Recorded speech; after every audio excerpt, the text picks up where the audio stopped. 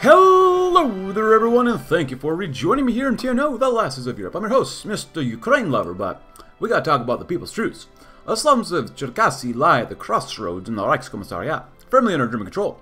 Though not as important as a city such as Kiev, it lies at the intersection of all three major resistance groups, with native Ukrainians here oscillating between hope and despair with any resistance organizing historically falling apart due to ideological disputes or a heavy German response. It's all too ironic then the city was chosen as a meeting place for the ceasefire talks between the UNRA and the UASSR, in an abandoned pre-war warehouse on the outskirts. The two delegations cautiously approached each other, and after minutes of security checks and patting down, the talks began. The UNRA delegate offered a handshake, to which the USSR delegate turns down. No need for formalities. There are urgent matters to discuss. The meeting's already off to a rocky start. Now letting the communists get the first demand in, the UNRA delegate speaks right. As we both know, the occupation will soon crumble under the weight of happenings back in Germany, and until then, I believe it would be best in our interests, all of our best interests, to focus our resources on the forces of the uh, enemy, namely the Germans and the UPA instead of each other. The USSR delegate responds, our organization's interests are diametrically opposed, so no promises can be made, however. It would only be logical for the USSR to focus on the forces of uh, the Germans for now, seeing as they pose a serious threat. The backhanded insult is not lost on the UNRA delegate, though he has already gotten what he wants. As they walk away from the meeting, he whispers his compatriot, this won't last long, as we have a promise. And a cup of Earl Grey tea to drink. The leader of the supposedly superior uh, Aryan race lies on his deathbed. As his health falters, his tendrils retreat from Ukraine. Those in the West have already ready to fight for the freedom and make the most of the approaching opportunities. Horlis will prepare a speech to rally supporters of a free and democratic Ukraine. He'll promise free and fair elections and that they will be as held as soon as possible once Ukraine is liberated from um, German and Soviet control. We won't use authoritarian tricks like temporary dictatorship with election being guided. Ukraine must be truly free once it's liberated. It will be. It has to be. So now we're doing this. 76%, not bad. Uh, Iberian Council, huh? Well, we're not going to see or get that far enough to see how good or bad it happens to be. So, I don't like that. 73%. Make it better. There you go. That's better. We got the political power. So we did sabotage grain production. We're disrupt resource extraction. All sorts of good stuff, you know. But then we gotta talk about the anthem of the liberated. The clock chimes and Ukraine will rise. Germany ails under its own weight, and the Reichskommissariat crumbles and Koch lays on his deathbed. Never since the days of 1917 have we found ourselves with such a firm chance for national liberation, from what we can tell. With many garrisons currently either dissolving in light of Germany's effective collapse or struggling against many of the other partisan movements taking the initiative, it is clear that the time to rise is now or never. Borovets's Ukrainian National Revolutionary Army has already begun the preliminary actions of rising up once the general government falls, and Ohloblyn's government press is mobilizing at this very moment. Before long, Ukraine will be free. And we'll play our hand in bringing down the Reichskommissariat, whether we live or not to see it. Cool. Screaming for freedom is next. But soldier citizen. Yuri Horlis sat at the head of the table, accompanied by his staff and trusted associates. Oh, there goes that guy. In front of the great dining hall. The crowd before him represented various aspects of Ukrainian society and her people, all gathered to celebrate the announcement of the provisional constitution. As the wine begins to pour, took to the stage. It's not a man's place to stand above another to lord over his fellows with false authority and sense of entitlement. Occasionally, a few men are asked to stand in front of the crowd, leading the civilization forward into the unknown, yet even then, such men must understand that they are no different from these those behind them, and they too will fall back uh, to be led by another.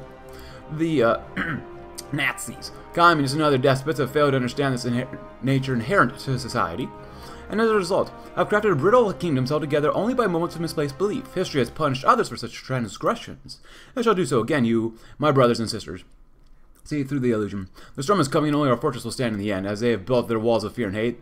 Ours held by respect and faith. The applause felt sincere to Horlis, and as he could feel the people's belief in what he was saying before announcing the main course, he decided to reveal his primary message for the night. And I swear to show my allegiance to both the people and the Constitution, that once Ukraine is free, I will retire from public life. The elections that ensure our rise will be free, fair, and open. The law of the land will be upheld, and from the simple farmer all the way to Congress, the gleam in their eyes radiated hope. Oh, look at that. I love how divided we are here. Oh, so good. Nothing like extreme division.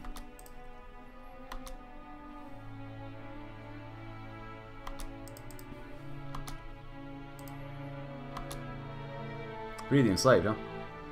Yeah, that wouldn't be bad, but... It's alright. We gotta have a sip of tea here. It's probably really hot, though. Start the game's lagging really hard for the Germans to kill themselves, too. Ah, nothing like a good old German civil war.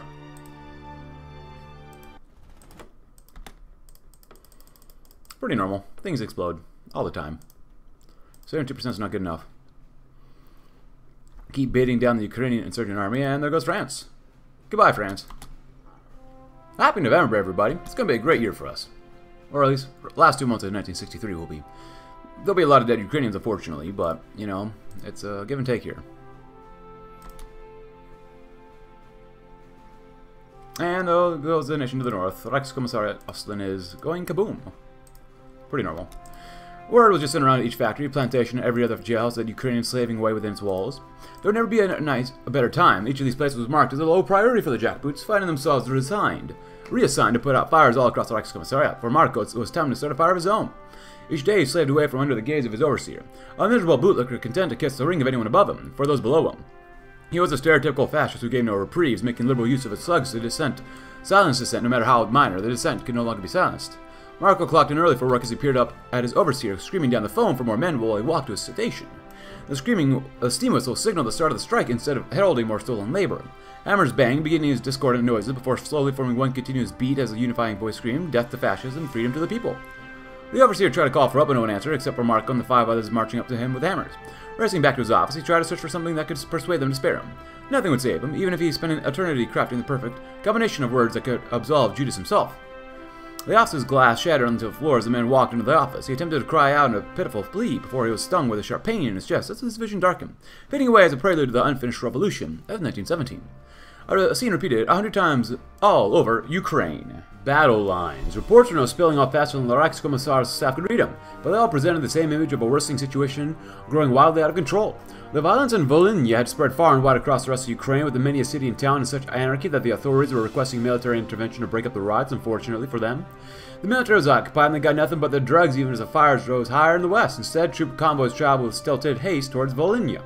What had once been an intelligence black hole was now the undisputed territory of the UPA, whose troops were emerging to meet the growing response.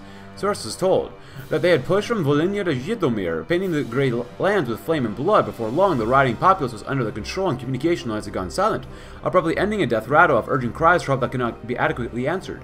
And the burning cities in Ikchor soaked fields, battle lines were forming, from the lowly soldier digging into the mud to the general scanning reports. They all knew this was a turning from an insurgency to civil war. Refugees crossed these lines, despite the scorched fields and the cracked roads, patrolled by hateful soldiers or roadblocked by bitter steel and sandbag walls. The growing volume and frequency of gunfire did little to deter them, Ukrainian or German. Neither army was making much distinction in their drive to form a front line before the situation could escalate.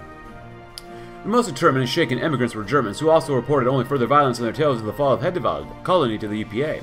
They painted a grim picture of the fate of the colony, both haunted tales of violence and the dead and mutilated they brought with them. These stories only breathed more panic into the entirety of Ukraine, and in turn more violence. And there's the Ukrainian state, which is partly owned now by uh, these guys down here. The dispirited deranged uh, Domboy, atrophied Adzai, Azdia, Azdaya, scars of the second struggle. Oh boy. The Brothers' War, interesting. Green Civil War and Revolutionary Inertia, so. It's interesting that what they got here in total. But where do we go come in from? Onward to liberation. Uh, the announcement had gone well in Yuri Horlis' estimation. He did derive some satisfaction from imagining the impotent rage Leibbrandt, uh, or whatever German dog the Nazis had installed after Koch was experiencing right now. No doubt, the idea of Ukrainians rising up to expel the foreign invaders was an unfathomable concept to them, or at least it had been. The crowds at Ternopil had roared and cheered as he and Taras publicly declared the Republic of Ukraine and called up upon the nation to rise up and join them. Several things had happened in the quick succession following their unveiling to the nation. They quickly gained the support of Ohloblyn, as well as fully seized Vinnytsia after some brief skirmishes. In a matter of days, they established themselves as firm opponents to the false government, gained momentum politically and publicly, and were well positioned for the war to come. This was all the easy part, though. Yuri knew very well things were not fully in their favor, while the Germans still had lost authority across vast swaths of Ukraine. They still had many of the cities, as well as the German settler populated rural regions. They were certainly weakened, but they were definitely not helpless or incapable of responding, much of what happened next depended on how well the Nazis were able to organize themselves. With any luck, they would tear themselves apart trying to vie for power in Koch's absence, otherwise he would need to rally as much support, men, and resources to the Republic. There are going to be many long and sleepless nights ahead, but such is the reality now. They were committed to the liberation of Ukraine. No turning back. So, oh my god, this is sucks. Why do we split like this? Oh my god, this is... Oh, we're going to break through here as fast as we possibly can. That's not ideal. Very bad. Very, very bad. It's a war hero. Well, it's going to have to be a war hero for what we're going to do here. And, uh... So we're gonna take you guys. Now, I guess you have to do this like that. E5, literally just hold here. The rest of y'all, there you go.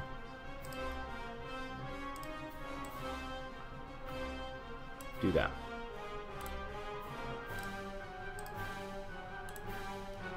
Uh, let's see, who do we got here?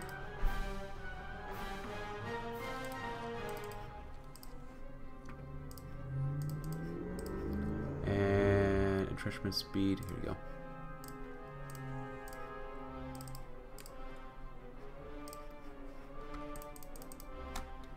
If anything, can we build a radar station up? Oh, we, oh, we, oh, we built one in... Ah, we built it in literally the best area. So we have intelligence on them, but a republic from the ashes. Friends and patriots, our time is now, just as in 1917, our country is beset by German invaders, traitors, and Soviet oppressors. And once again, the time has come for our national struggle for freedom and justice. We cannot fail to be one step, for the stakes have never been higher. Because defeat here does not merely mean the yoke of foreign devils, it's the suppression of Ukrainian self-determination. It can spell the end of Ukrainian inner people at the hands of slavers and butchers. We'll not go quietly into that good night. We will fight, persevere, and prevail. Long live Ukraine! What do we got here? Oh, we still have all this stuff. We, do we still have to deal with this stuff, man? Bruh. God, I hope not. Get base war support. We got a lot of stability, though. Uh, I guess we'll go with that one for now. Political parties.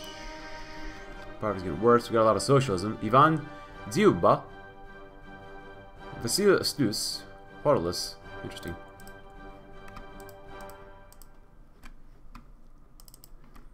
Extremely high deficit and negative real growth, huh?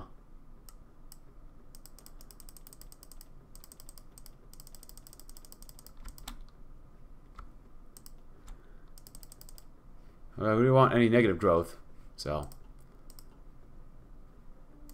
it is what it is. What do you have? Foreign supply bases. Not yet perished. That's good. Brothers War, of course, pretty normal. Uh, Ukrainian Civil War. And Revolutionary Inertia. Interesting.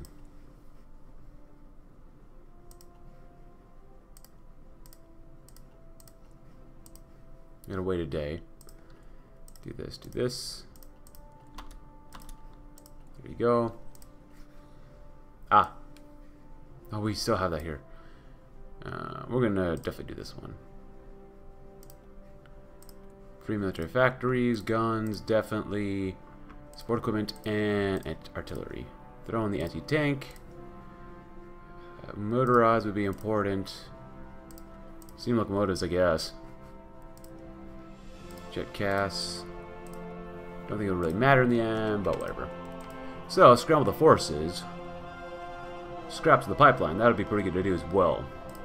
Before the war, the smuggling routes between Ukraine and Muscovy were enormous. That has changed dramatically since the uprising and tight lockdown of the border. Such pressure has shattered the network centralization as profiteers of all stripes are selling to both sides. This cannot continue. We'll crush these bandits, seize ill-gotten gains, and put them out of business for good. Not only will this allow us to acquire much needed supply, but it'll further prove the righteousness of our cause. The operation begins now. As we're going to save first. But guys, never know how things are going to work in the end. We've not got any real command power. Almost no political power. Oh, we have a Sepetier. Some sort of red berry. Something like that. I don't know. Um, as soon as the war starts, we are we are bomb rushing as hard as we can here. There we go. Oh, we actually got more territory. Look at that. Um, do your best to defend here.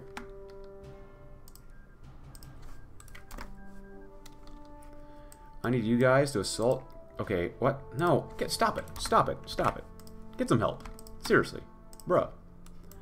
You move in as hard and as fast as you can. You move in as hard as fast as you can. You're going to go here and get all the way to there if you possibly can. You're going to go there too. I want you to just focus, like, taking the tiles. Take tiles, take tiles, take tiles. When I play as these guys, it looks like it's probably going to be pretty darn difficult. Just go here. It's fine. Go here. Beautiful. Exactly what we need and want. Let's go. That'd be great. Uh, go there. Hey, prototype anti-air's gone. Nice.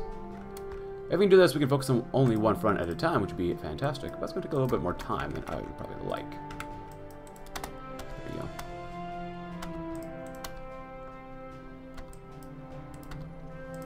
Beautiful. About. They're definitely attacking us. Uh, just wait there first. You need some reinforcements there. Beautiful. They're in, so I'm going to send you guys down here. Hopefully that'll be enough to uh, do that. You guys go there. Well, that's not going to exactly work for us either. You know what? You go there.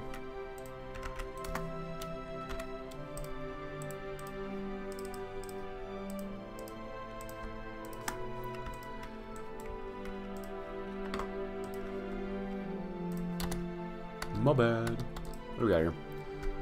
Yeah, bean soldiers. Oh, we need 30 political power for this. 0.62 is not really great, but whatever. There we go.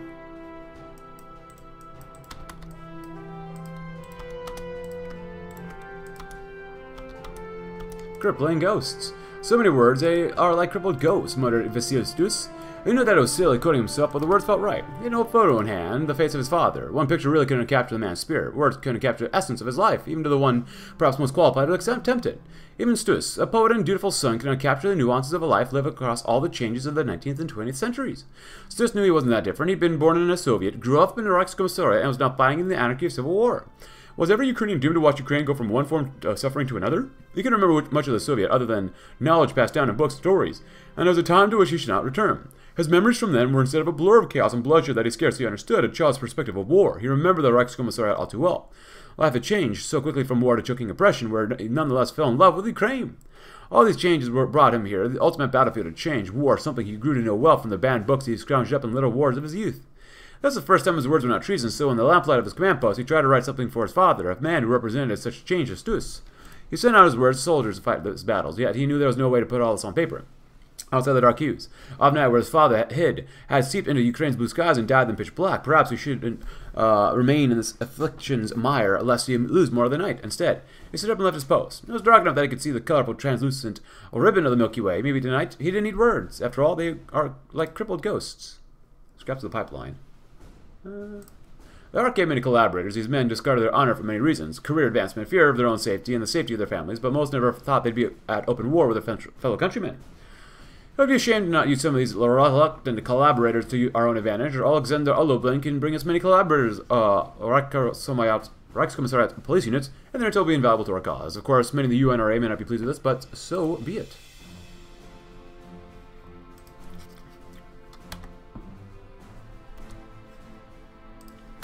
Get to there in advance. We're going to do, hopefully, very well here. Looks like we are. Hey, and a. We'd like to see. Blow them all up, thank you very much. Doesn't take too much as long as everyone does it. The Macedonian War, nice. Can't wait till I get content too. Be the soldiers.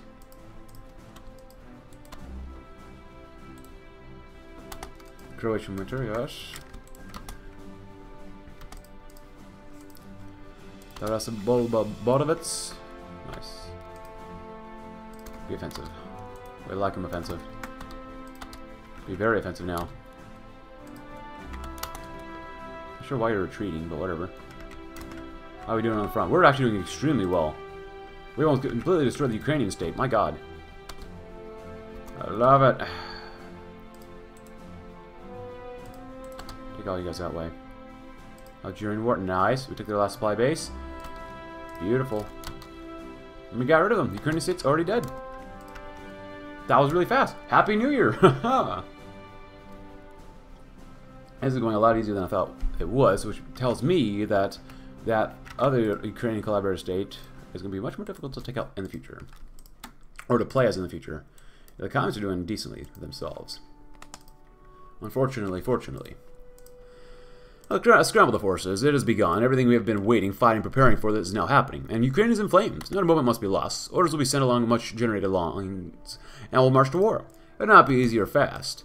All the soldiers and the volunteers will take time to organize into real fighting forces, and dispositions will need to be made to cover all the new, fluid fronts. But these challenges will be overcome. Ukraine will be free again, of course. It was never meant to be. Go, go, go! At the uh, officer's command. The UNRA soldiers entered a large compound that the UAP, UPA had built. The last up of control. Its fall would mean an end to the nationalist resistance, so they were expecting very hard resistance. The best men were assembled, the strongest howitzers were brought. Everything was prepared for the final battle of the war. However, to the surprise, all UPA soldiers had abandoned their positions and no storm was needed. At first it seemed like a trap, but as sections of the compound were cleared one by one, no resistance was met. The place was in disarray, guns scattered across the floor, documents strewn about, and so on, just like an abandoned military base should look, though this thought the soldiers and officers, the enemy fighters had truly left without a fight. After some time, a small group of UNRA uh, stormtroopers finally reached the deepest chamber of the compound. On the count of three, they busted through the door, of course. Uh, Shukhevych attempted to fire upon them, was struck down with a bullet wound to the chest. His son lunged towards the men in blind range, only to receive a rifle, but for his troubles as they marched down the Grand Vaz. Klyachkivsky was sitting on a chair nearby with a gun to his temple and his right hand shaking. His Stetsko wasn't there, he must have fled with the others, but the soldiers didn't care. They wanted to get out of that place as soon as possible. Klyachkivsky was taken away alongside Shukhevych, Shukhevych and his son and some after some time while entries to the compound were sealed. Thus, the UPA met its end. We got some entertainment now, finally. Still.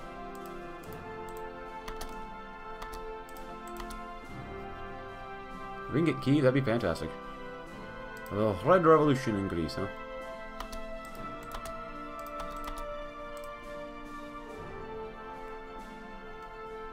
We need Lviv back.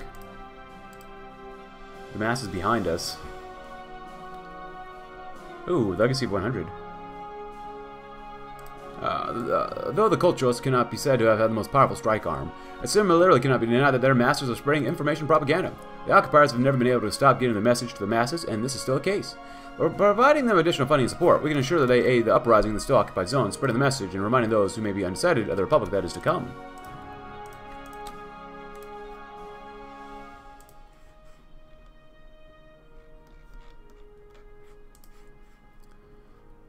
Now you perished, of course. Experience of war. A bitter harvest, negligible. Okay. Um, Borovets 100, Loan No More. The figure of Borovets is, undoubtedly, an inspiring one. For years he fought the occupiers, forming a large resistance group and then leaving it with only 100 faithful. After all, it fell increasingly to banditry. He never gave up, and neither will Ukraine, neither will we. There are countless recruits who have cited this story as the reason for their joining, and their potential can be nurtured. Each of the 100 are skilled and can turn train these new men. In this way, the legacy of Borovets will endure, and the 100 will grow into many more. Cause for concern if you want to that, please go good additives. As occupied territories were liberated, the UNRA forces observed the collaborators were practically everywhere in the administrations of the region. This too. So many of them were present in such influential positions where a strong argument could be made, at least according to Ohloblyn, that they would need be indispensable uh, to the uh, continuity of the government in newly liberated regions and a fundamental part of the new government of the Republic of Ukraine. Zibia was dismissive of that idea. He said, uh, these cornerstones of the new Ukraine you praise so highly, Ohloblyn, are a lot of traitors and sellouts and nothing more. We struggle to trust you as it stands, and what is the likelihood there's that these people, many of whom we saw bending over backwards to accommodate Koch and the Nazis, would be any less untrustworthy than you? While the Ohloblyn's lot sputtered, others call for a more moderate position on the subject. I grant that the majority of these people are untrustworthy, but surely there are different levels of untrustworthiness. Just like there are different severities of evil. Obviously, a large portion should be dealt with like we will do with the RKU, but surely we can trust the loyalty of a few of them here or there. In the end, it concluded that there are to be no collaborators in the Ukrainian government. A few of them could be permitted to continue their posts. Collaborators should be integrated into the government en masse. Uh, I don't want to hurt our admin efficiency, but we'll do that one anyways because we can. And there goes our PP. Alright, we're all in. Because we still have our revolutionary inertia. And this expires in two days, so that's not good. So if we can take Kiev in that time, well, and there it goes. Alright then.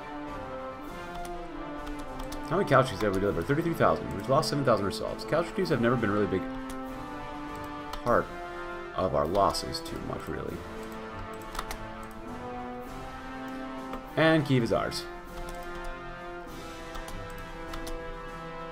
Which is more, more or less. A lot of debate went on in nondescript peasants' farmhouse that was the UNRA's temporary headquarters. Was always something to argue about, had never had ever been since the Polissian Guard was founded, but the night was especially energetic. The question whether the resistance should prioritize quality or quantity in the fight to liberate Ukraine. On the one side was Zubia and his allies, as Bref fit their views on the subject, more of them were arguing for their point. The argument was straightforward. The peasant masses hate our enemies as much as we do. Our friend has more holes in it than any opinion Ohloblyn expresses, and a single well-placed strike could destroy the entire army. We need the lines filled, so we should call farmers and other civilians to the front lines and thereby bolster our ranks. Is it not common sense? No way in heck is it common sense, Borovets, the lone advocate of quality over quantity in the room posted. Fill the line with untrained peasants in the fields with life follows. These farmers die to any disease or accident you can name. And that's before we get to how they'll fail in battle. No, we need to create a professional force based on discipline and training. If the UNRA can move faster and better with effort, who cares how many holes there are on the front line? As their arguments became less and less substantive with every retort, the opinion slowly but surely swung in a given direction, which was, do as Zubia said, prioritizing filling the front line. Do as Borovets said, keep true quality strong. Uh, I'm a big quantity. You know, I like both. Don't get me wrong. But in the end, if, if it's quality versus quantity, I gotta go with quality. Generally, not always. But generally. Good. At least we're still enjoying the Olympics here in the world. Got a terrible credit rating, but what do you expose during Civil War?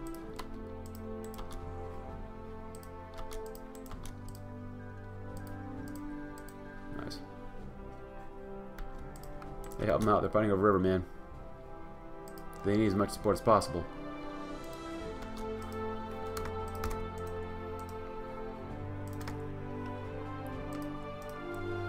UNRA, United and Strong. Oh, that's pretty good. Established War Machine. Ooh, growth will increase. Ooh, popular support goes down though. Ooh. Ooh, poverty gets better here too. Censor press with, or replace free press. Interesting. Create officer corps. That's pretty good too. Alter the offer the alternative. It's not bad. We're gonna go to the Steps War Machine. As with other areas, we must formalize the apparatus to stay in order to win this war. Underground workshops can outfit an, an insurgency, but they cannot outfit an army, and we cannot, uh, for a moment, entertain the possibility of losing access to adequate quantities of weaponry. We must prepare the war economy, organizing and retooling factories and supply chains needed to operate them. It will no doubt be an enormous effort, but there is quite possibly none more vital. I'm surprised these guys are still alive somehow. That's alright. They won't be alive for very long. How much more? Oh, they got a lot more in them. Alright, whatever. Go all the way.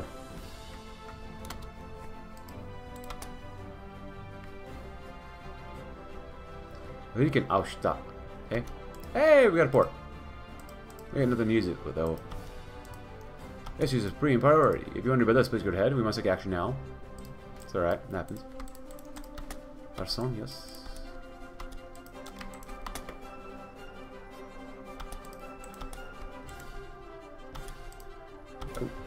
There we go, Greek boys. Goodbye, Greek boys.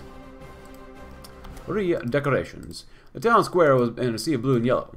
The UNRA soldiers were distributing flags to the people, but a significant contingent of homemade signs and national paraphernalia. Slogans crudely painted on blankets and sheets, German military uniforms torn to ribbons, and the outpouring of emotion was intense and universal as the day wore on. And the most successful symbols of German occupation were torn down, a sort of game emerged from the ones that were hard to get into. People who found creative ways to rip swastikas down from the tall buildings were rewarded with alcohol and cheers. A huge crowd soon formed under the facade of the town's biggest hotel, which sported a huge Reichsadler in stone. For hours, nobody could figure out how they were going to do it.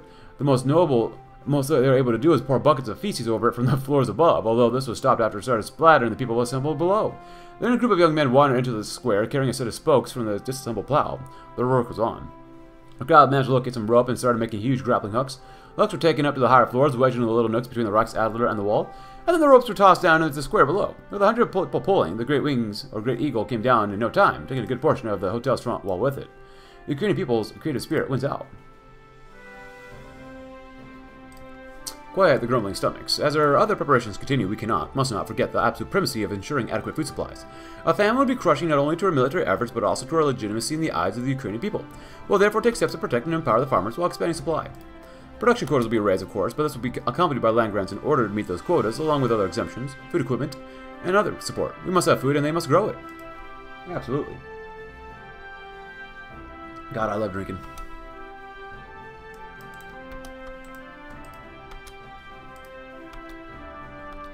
Another encirclement. Beautiful. If you can move it even faster, that'd be great.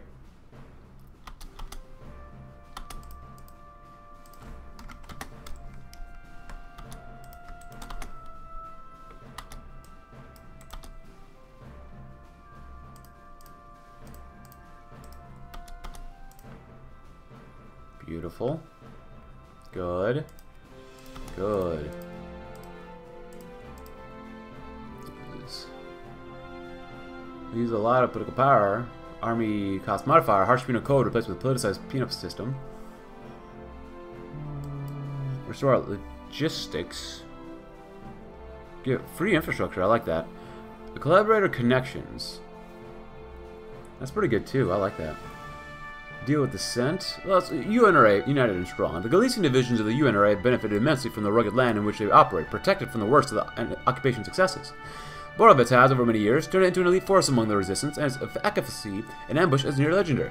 Now, as we hope to liberate all of Ukraine, the time is coming to fuse the UNRA together more actively, combining our divisions in Galicia and Polissia to form a united front capable of overcoming our rivalry with the UPA and overtaking the Reichskommissariat at its core. If we wish to unite Ukraine, first we must stand united. That's great. How many casualties have we delivered? Over 100,000 dead. For what reason? Seriously, for what reason? You see who's better?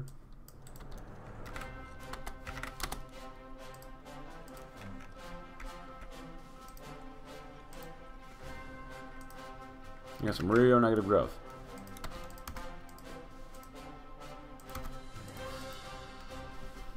Offer the alternative. Create an officer corps. Make volunteers. Ooh, get more political party. Lose population, though. Oh, we're gonna create an officer corps. Well, do we shoot? Yeah, we will. A movement needs leadership. Leadership means officers, and we must ensure that we have the cadres needed. Much has been debated on whether to prioritize quality or quantity, and though this decision has not yet been made, we must nonetheless give additional focus to our officer corps. Given more time to train, ensuring that such training is as proper and efficient as possible will serve excellently in the short term. Better plans will be made, but for now, effectiveness can be improved directly, and that will suffice. Hey, look at that, nice. We have scarce food, that's not good.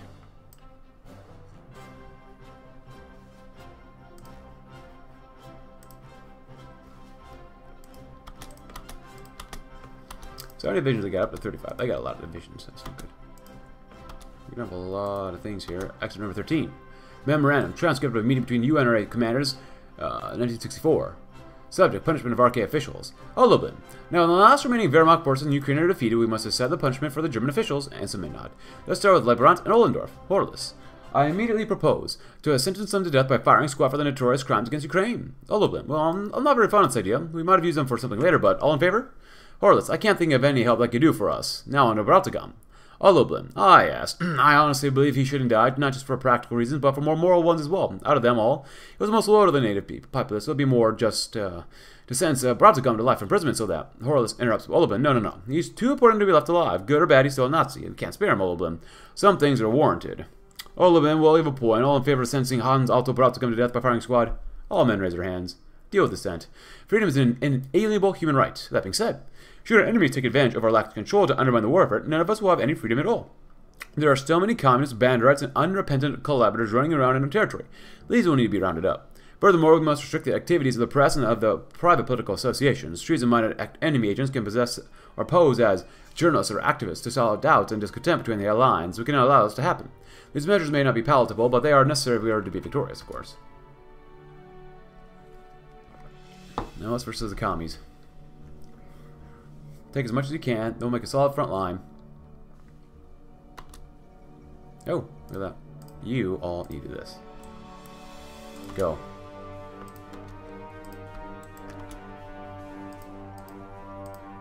And if you can't break them, well, just unite our lines a little more. That's all.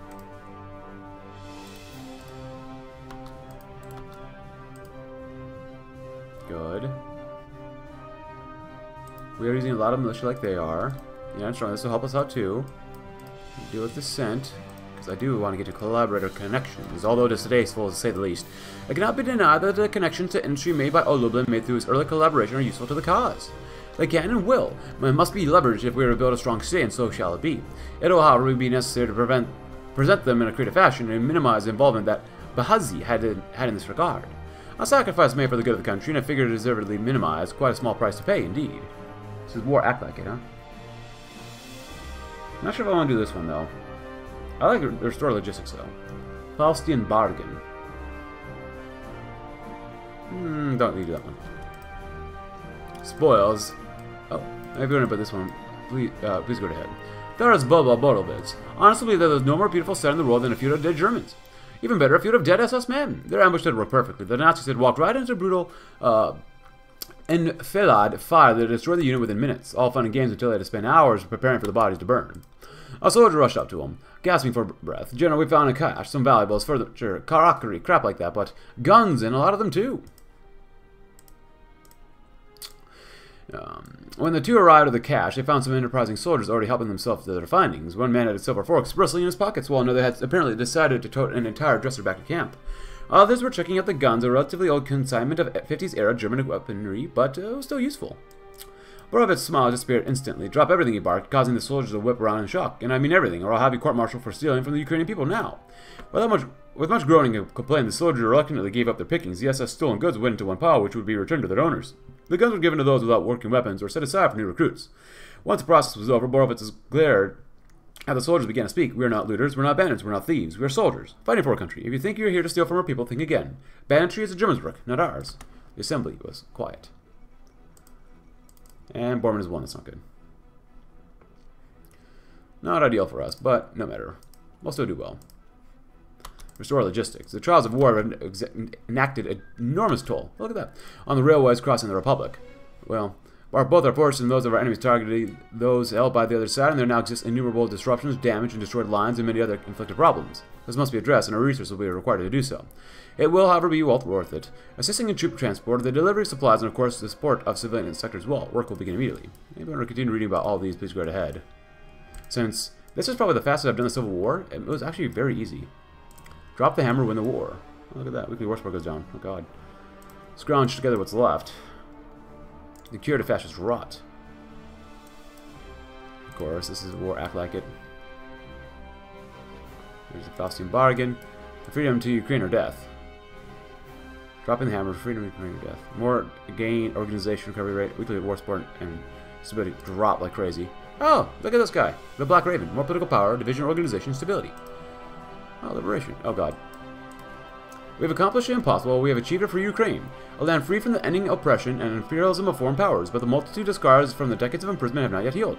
Our people hunger for many freedoms and rights, but primarily for the right to eat.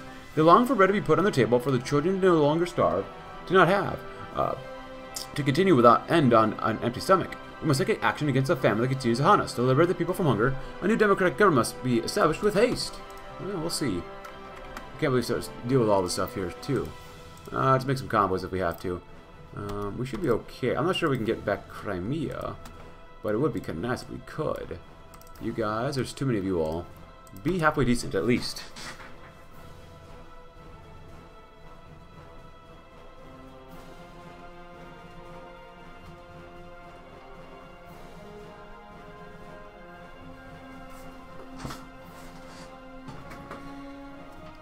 Well, the hammer stickled no more, but we're going to read about no more running. That's him. That's Officer Yusenko, his arms crossed as he stared at the scruffy young man in the station's jail cell.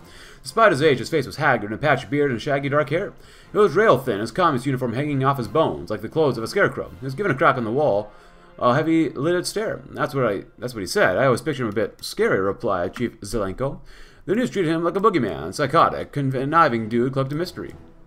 Thought he'd be younger. Some kid didn't know what he was getting into, added Officer Dudniak. Um, when I ran with the UNRA, they lionized him. They all wanted to be the man who must cut cock. Uh, returned Yusenko, thought he'd be taller. Bodan didn't say anything, even as the cop spoke about him. He instead sat down at one of the cots, listening to the conversation and looking at the policeman. He didn't look afraid or sad or angry. He looked tired and a bit more chattering among themselves. One of them finally acknowledged the prisoner. Why even turn yourself in? You could have hit easily or kept fighting us. Bodan looked at him in the eye for the first time, his voice hoarse. I've been hiding for years. Killing Germans was the only thing that made the hiding worth it. Now, who am I fighting? Ukrainians. I can't do that. You know they might kill you, said Yusenko. And, asked Bodan. These were the last words of the night as he fell into the cot and got his first night of good rest in nearly a decade. Not even a nightmare. The Republic of Ukraine is established, though. In the aftermath of the collapse of the Reich's eastern holdings, a light of hope has finally emerged from the dark fog of war. After months-long civil conflict in the so-called breadbasket of the Reich, the Ukrainian territories are now in the hands of a liberal and democratic partisan group that has begun installing a new democratic government. Appealing to the people of Ukraine's dreams of a free nation, the now the Republic of Ukraine has won the hearts and minds of the oppressed people of Ukraine, and has since established a sovereign state with the native Ukrainians being the main holders of power within the government. The international community remains skeptical as to what will happen next, so the leader of the Republic, Yuri Horlis, assures all that Ukraine will remain free. We are finally free and more and sickle no more. Shumsky, along with the other five uh, UNRA soldiers guarding him, walked out of the theater building in Rostov, which had miraculously survived through German occupation in the Civil War. Just moments ago, he had signed a formal act of uh, unconditional surrender of the communist forces, and the men now escorting him were witness to, this, according to the document. All units must cease their operations until disarmament, and Shumsky, along with the most important figures in the Soviet resistance, was allowed to leave Ukraine and move to another neutral country. He try to comfort himself with the thought that it wasn't his fault. He had no interest in fooling himself. He felt responsible for the failure of the communist ideal and for letting down all the people who had worked so hard for the reestablishment of Soviet Ukraine. The workers and peasants of Ukraine would never truly be free. The fight was lost his time. The dreams of Marx, Engels, Lenin, and Bukharin would never be realized. His dream would never be realized. Still, Shumsky thought it wasn't all that bad after all. It wasn't the Wehrmacht that distinguished the communist fire, but the somewhat reasonable Horowitz and the UNRA. Deep in his soul, he knew that Horowitz wasn't a bad man. He had just had other ideas, and the fact that the leader of the democratic resistance agreed to a treaty rather than outright destroying the Soviet partisans was already worthy of respect. It was an honest fight, and a loss in such a fight is a dignified loss. During his inner monologue, Shumsky and the other soldiers passed a flagpole near the theater, and he saw the flag of the Ukrainian SSR being taken down. His only reaction was a deep sigh. Farewell, old soldier. Deliberation. The days of the Civil War have allowed us to make decisions almost automatically now that we've established a republic. We must take a step back to figure out what to do next. The immediate threat of Germany has dissipated for now, leaving the remaining internal threats of a newfound republic to take precedence. Therefore, it is of the utmost importance to quell these dangers if any of the new government is to be able to stand up on its own two legs. Politics at the dinner table. Stus Ackerman, you must be joking, Helena. Vasilis, Vasilis Stus is a baby. He was in diapers when the Germans invaded. As if Zubia, some wisdom sage, face it, it's an election between children. We must simply pick the best one and support the one who can beat back the Germans. So you scrape the bottom of the barrel for allies? What a low opinion on a great nation. The banter continued as Helena began serving dinner. Since the start of the electoral season, the Nosenko household has been abuzz with these debates, each hawking their own favorite party. Each also helped campaign. For their side as best they could, Daniel with reading sessions and Helena with a door-to-door -door campaign. As Helena placed Banush on the dinner table, Daniel looked up at her with a delightful smile. How much brighter he looked now, she thought to herself, active and open after so many years of closing himself tighter and tighter.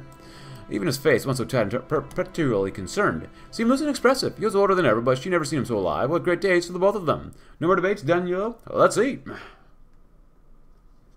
And maybe drink too. Long Shadows. Rodan was a militia soldier in the UNRA alongside his fellow guerrilla fighters. Uh, skulking amidst the rain-swept ruins of the Kiev battlefield. It was only then that they came upon the ruins of an abandoned office complex, one that was used by the old regime where he and his comrades sought to wait outside the storm. It was going to take a while before the Soviet government could rebuild the devastated urban centers, which was why this entire part of the city looked the way it did. The whole neighborhood was still smoldering from where the fighting had knocked most of it down. Inside of the place was about as dreary as the skies outside, if not for the damp cold than from the refuse lining the hallways. Upturned desks, emptied filing cabinets, scattered papers covering the floor, and every so often a faded swastika banner left fluttering limply on a distant wall, still pinned to the crumbling plaster. Rodan and his comrades made the best of their environment. There was little else to do until the weather got better anyhow. Some resorted to drinking alcohol, others to play darts using their knives and the cracked portrait of Erich Koch on the wall. An interesting point was when the youngest of them tore one of the Nazi banners from the wall, laying it out on the floor to thrusting it with his pelvis. As Rodan sat back with his feet up on what he assumed to be a head honcho's desk, the smile that had been there for a moment then faded. It struck him that the sheer apparatus it took for the Germans to rule in Ukraine, from Koch all the way down to this now derelict office building. He realized that this place was just one piece of all the Nazis had spent a generation building in Ukraine, as well as the gloomy implication that this is what the new republic would now have to build upon entirely from scratch. A job for grander men than me, and not one to be envied, he thought grimly. Well, we wouldn't be Ukraine without Crimea, so as we're doing deliberation, we're taking them out. But this organization may not be proud to admit it, but there are many areas within Ukraine that do not fully lie within our control. Collaborator mayors of the old regime still hold sway over the cities they once lorded over. Peasants organize their own mob rule. And law within isolated villages and towns, fascists and communist insurgencies have sprung up and attempted to cripple our authority. This cannot be done. The Republic's authority must be respected if we are to become a free nation. We can only do this after establishing a democratic government, and a democratic government cannot be established until elections are held. We must make it our priority. But you still gotta deal with all this stuff here, which kinda sucks. But we gotta save the political power for reintegrating Crimea. At the table, though. The day ended with another dinner eaten in silence. Since the war ended, Peter von Norden had to know how to explain the failure to his family, and Antonia was too busy to worry about what the Republic might do to them. The family was in limbo, their home in the countryside was long gone, and the temporary residences might be taken by the state at any moment. Yet, once Peter dismissed his family, he rushed down to the department's lobby and waited. For a solid half an hour, he sat and fiddled, praying that both the, that the man would arrive and that he would be spared the humiliation of his presence. His first hope was granted, and the other squashed. The man arrived shortly after wearing a refitted Ukrainian auxiliary, auxiliary uniform, and a grin he spoke German, but only a stulted German. As the pillow blue and yellow hastily sewn in, a Ukrainian man, and some bitter uh, pot of Peter's soul mocked his every fleeting kindness, kindness towards the man. This is a creature that ruined your country. Still, Peter needed stability and needed safety no matter how far he had, to wait. Small talk was made, money exchanged for protection. The Ukrainian called the bribe a donation to the Spivators. Peter had no choice but to smile and agree. After the man took his visitor and disappeared, Peter stumbled back to his apartment in shame. Praying to a force he could not define, he thought with pride of the destruction of a German invasion might bring. How these soldiers wipe away this ugly chapter. As we're still going in. Please. Do not stop. The day you stop is the day we all die. Somewhere in eh, somewhere in a village near Cherkasy, two peasants were discussing politics over mugs of beer. One surprisingly different to what was happening in the country. To him, the most important things were his family and his farm. His friend, however, was a staunch supporter of the culturalist movement. He argued that they only could improve their lives and ease their burden. The former, as usual, didn't care much for his companion's speeches and scoffed at him. However, later that day, he wondered maybe the culturists weren't so bad after all. Somewhere in Kiev. A packed bar resonated with the, the public eagerly catching every word coming out of Vasyl Stus's mouth. He spoke emotionally of all the crimes committed by Germany against Ukraine, successfully appealing on behalf of everyone's friends and relatives lost due to the Reich's cruelty. He brilliantly ended his speech with a call for all of Europe to unite against Nazism and causing the audience to roar in approval. Somewhere in a country house in Belatsirka, Lublin was hosting a dinner with the high-ranking collaborationist officials. During the meeting, many concerns were expressed, mainly for the safety for the militias of the United Front and culturists, along with the fears of the inevitable German reaction to the fall of the rule over its colony. Although Lublin was so used to these complaints that he stayed quiet throughout the whole hour or two of discussions. Nevertheless, he understood that their concerns were valid, and his mom was already trying to find solutions to these problems. After the dinner was over, and all the guests had left, Lublin, still pondering a solution to the nation's trouble, made an inward resolve he would keep Ukraine safe no matter the cost. The many faces of Ukraine's political life. Spivator salvation. Alexander Ohloblyn will lead Ukraine to a new golden age of collaboration and prosperity. Versus Glory to Ukraine, Ivan Zubia will lead Ukraine to a new golden age of democracy and socialism. Versus Unity and Struggle. Vasyl Stus and Taras Bulba-Borovets will lead Ukraine to a new golden age of freedom and security. Well, we're going to read about Wrong Turn first. Ah. And was we could integrate Crimea. And then we'll see from there. um...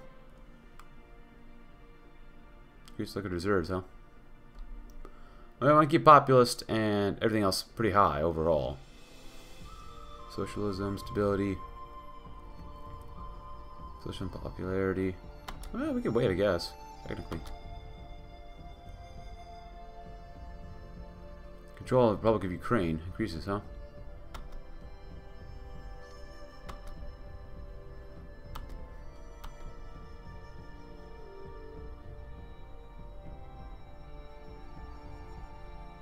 Me go with that one for now. Do that. It's going to really worsen it, and growth gets slightly better, but still. It's not great. Can we get rid of the Transnistria Governorate? I personally would like that the most. Ah, Slobodan's uh, car bounced and banged along the far-flung dirt road to the Ukrainian heart hinterlands, carrying the mid-level government bureaucrat to his new residence, a small town on the edge of the Black Sea in need of government assistance and reconstruction. It was here that the smell first appeared, the piercing pestilential stench that crept up through the car. Something drew his eyes from beyond the windows of his car, enough to bring the vehicle to an abrupt stop. Slobodan felt his jaw clench and his heart jump into his throat when he saw them. He should have just kept driving, but what he saw was too much to ignore. Slobodan forced himself to swallow as he got out of the car. The door ajar as he stood there, reeling. The rope still gripped around their necks, their pruned bodies drifting in the wind down a makeshift gallows. And an execution a very public one at that, even out here in the what was close to the middle of nowhere as one could get. The elements had long eaten away at the wood planks slung over the shoulders, including the etchings detailing the crimes, the identity of both crime and criminal forever lost in the distant wilderness. Slobodan couldn't take out any insignias anywhere of any kind, not a swastika or a cross hammer and sickle to be found anywhere. It could just as easily have been the Nazis lynching militiamen of the Red Army as it could have been the other way around, and for all we knew, it could have been a peasant dispute against their landlords gone horribly medieval. The sickening nature of what lay before him weighed on him. The pain of what the Germans had done to this country could not be as easily forgotten as these people clearly were.